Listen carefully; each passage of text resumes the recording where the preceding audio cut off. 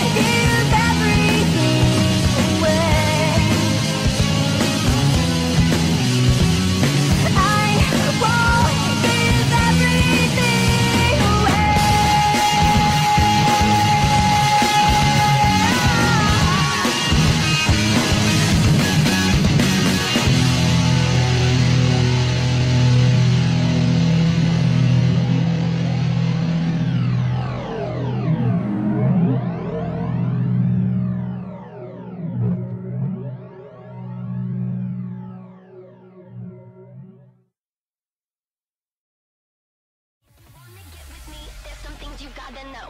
I like my beats fast and my bass down low.